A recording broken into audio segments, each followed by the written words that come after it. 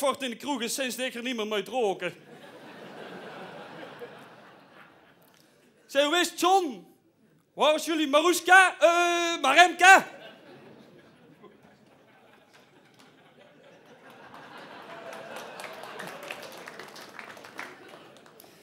Ja, zei hij. Die moest eerst nog even de kermis op. Je kent dat wel. Dus wij nog een paar gevat en John stelde voor om elke kroeg aan de rechterkant aan te doen. Dus wij naar de brouwer. Komen we onderweg Bas Hessels tegen. Die was zo'n hond aan het uitlaten. Dus wij stonden daar met de buurten. Zag ik daar die hond flink zijn zaakje aflekken. Ik zei zo tegen Bas. Dat zou ik ook wel willen. Hij zei, probeert hem eerst maar eens te aaien.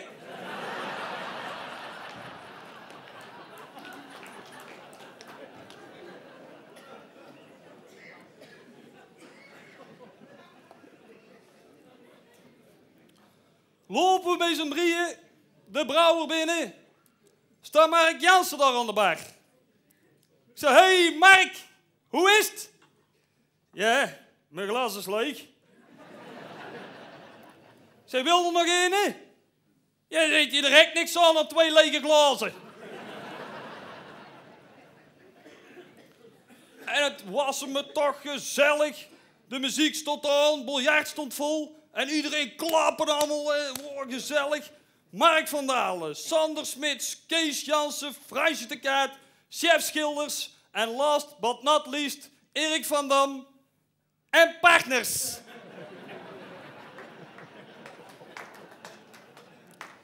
Wij aangehaakt met z'n drieën. En dat scheert zich zo rond je ton daar. Gezellig een beetje kwatsen. Een beetje ton praten, zeg maar. En de ene zijn verhaal nog sterker als de ander. Kent het, hè? Ja, bijvoorbeeld uh, Mark van Dalen was op vakantie geweest in Spanje. Vind jij het goed als ik dat vertel, Mark? Want ik kan natuurlijk ook gewoon zeggen, als, als je liever hebt dat ik naam niet noem, hè, dan kan ik ook wel zeggen. Er was dus een mens op vakantie in Spanje. Wil je dat doen dan? Oké. Dus, er was dus een mens op vakantie in Spanje. Laat me hem voor het gemak Mark noemen. Met een C.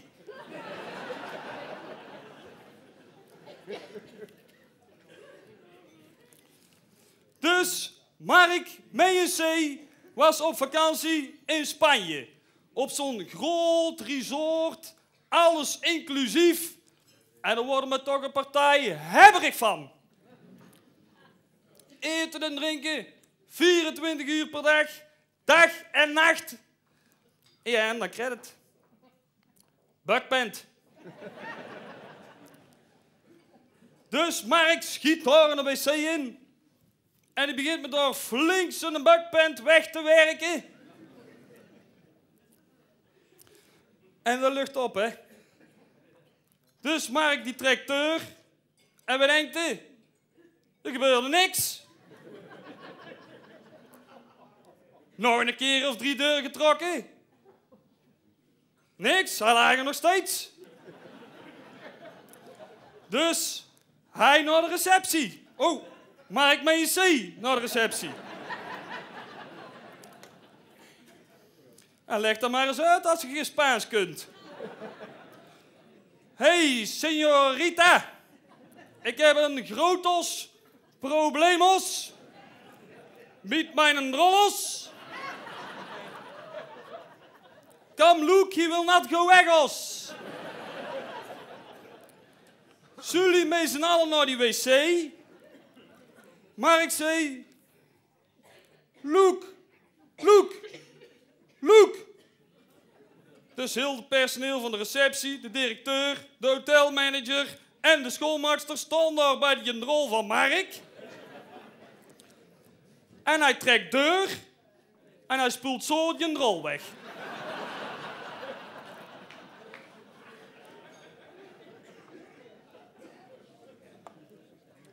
Ja, daar hadden bij moeten zijn. Hé Mark? maar goed, wij een paar blaadjes verder. Ik zei, zullen naar hier even gaan? Wij achter de kermisdeur, want de vrouwen waren nog op de kermis. Het begon me toch te regenen. En Frans de kaart, mouwen, mouwen.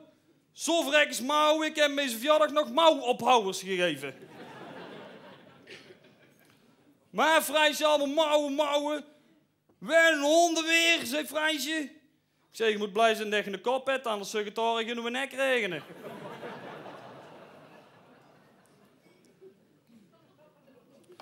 dus wij, bij hier even naar binnen.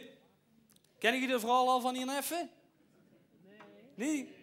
Oh, gelukkig moeten wij even voorstellen, heel de grap weg. Dus wij willen bij hier even naar binnen. Gooit Hanneke Mols op dat moment Ronald Kleijsen naar buiten. En Mike Damen en Sam Horsten komen er achteraan. Zei ze tegen Ronald, als jij eens naar de dokter gaat, je stinkt zo verreks uit de mond, het bier dood en mijn klanten blijven weg. Ik zei, goeiedag, inderdaad, ben een lucht. Als wij eens bij de virkesenig gaan vatten. Komen we de virkes binnen. Sta maar reine daar aan de tappal. Een beetje te hangen. Zei, hé hey Mark, doe maar een rondje van ik. Nee, zei Mark, het is een rondje van men. Ik zei, dat is ook goed.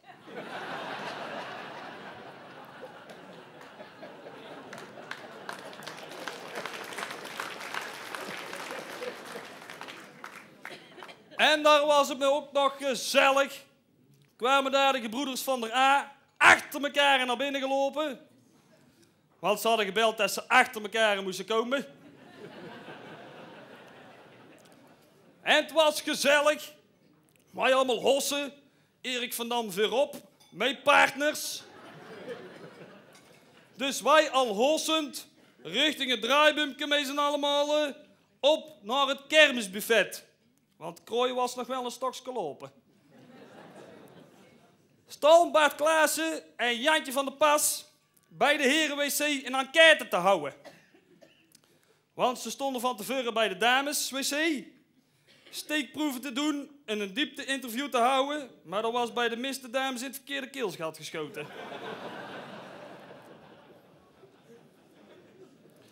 maar nou bij de heren waar is eruit gekomen dat twee derde van de mannen zijn kont afveegt met de rechterhand. Dus, conclusie, één derde gebruikt maar wc-papier.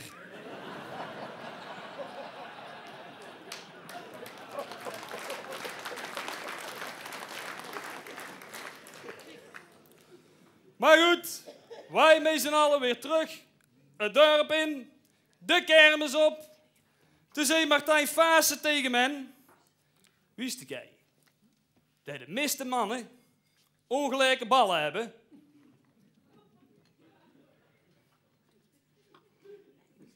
Nee, jij. Ja, zegt hij, dat kun je makkelijk onderzoeken. Je gaat voor een spiegel staan, doet de broek naar beneden en je kijkt tussen de benen deur. Dus ik, uh, ik ga zo uh, voor die spiegel staan. Ik trek mijn broek naar beneden. Ik kijk dus mijn benen door. En inderdaad, mijn rechter groter. En dat vond de rest van de spiegeltent ook.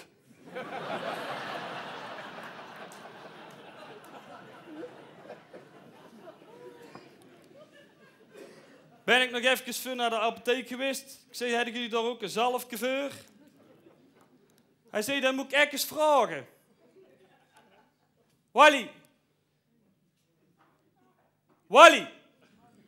Ik zwart. Wally. Wally. Goed zo, jongen. Erik, hebben wij daar nog een zalfje voor?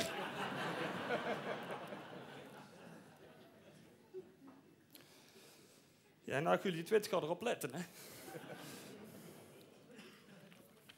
maar goed, wij kwamen met z'n allemaal bij het centrum binnen. Zat Ronald Kleijsen aan de bar. Samen met Johan Burgers, Jaap van der Hurk en Ralf de Wit. Ik zei, hoe is het Ronald? Hebben ze iets kunnen doen we stinken en assen? Ja, zei hij, ik ben naar de dokter geweest en die had twee oplossingen. Of gestopt met nagelbijten, of gestopt met aan de kont krabben.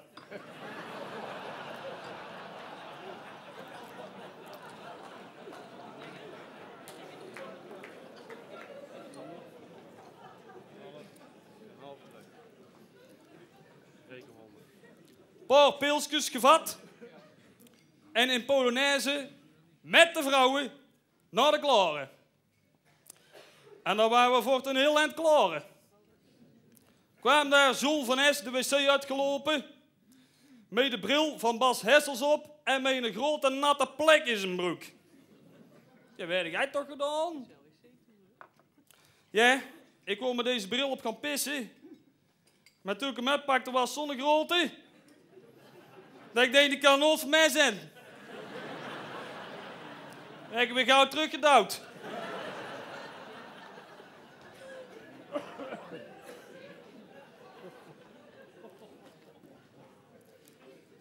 Ik zei, jij weet het wel te vertellen, John.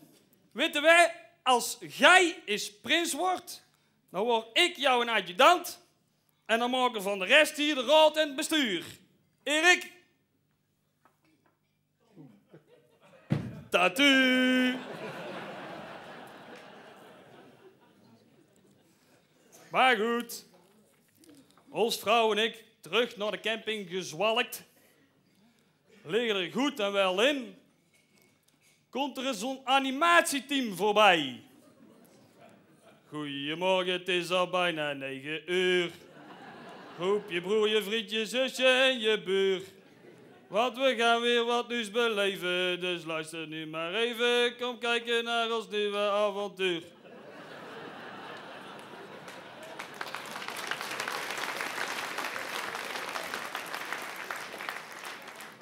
Zeg tegen ons vrouw, als wij eens inpakken, dan zijn we weg van hier. Houdoe! Een, uh, een hele goede avond uh, allemaal. Ik ben uh, Sjaak van den Brand. Ik ben gevraagd door de grote baas, mijn, uh, mijn commandant, om hier eens een goed woordje te komen doen in verband met onze ledenwerfactie. Je hebt waarschijnlijk allemaal overal die affiches zien hangen en een mooi filmpje gezien. Het is de commandant, Sjaak, dat is iets voor jou om daar eens een beetje te pro, pro, promotie aan te geven. Uh, ik moet eerlijk zeggen, ik zeg dat is iets voor jou, maar ja, durft je niet. En dan al van die balken en sterren een dik salaris, maar hier gaan staan, homa. Toen zeg ik tegen de commandant, ik zeg, maar ik, als ik daar sta, dan, dan ben ik altijd een beetje, zenuwachtig. En dan, dan ben ik bang dat ik ga te stotteren. En toen zit hij dan, heb ik iets voor jou, dan neemt hij boekje van mij mee. Ik heb een mooi versiesboekje. Hij zei, en als je dan gaat stotteren, dan lees je maar een versje voor. Ik geloof dat ik er al heel hard aan toe ben. De titel is Buurvrouw in Berlijn. Ik hoorde haar al jaren kreunen, want we sliepen naast elkaar. Maar pas toen de muur viel, kwamen we samen klaar.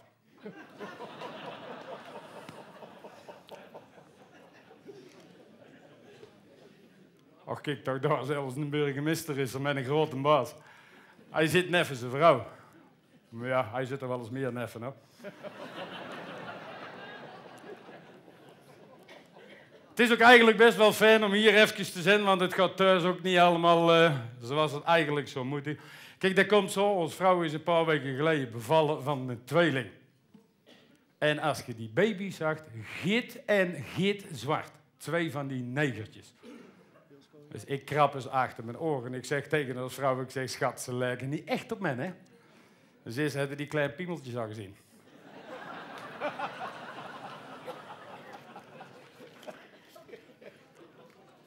Vorige week vrijdagavond zeg ik tegen haar, ik zeg, schat, zullen we er eens een grandioos mooi fijn weekend van maken? Daar ben ik voor. Ik zeg, nou, tot de maandag dan.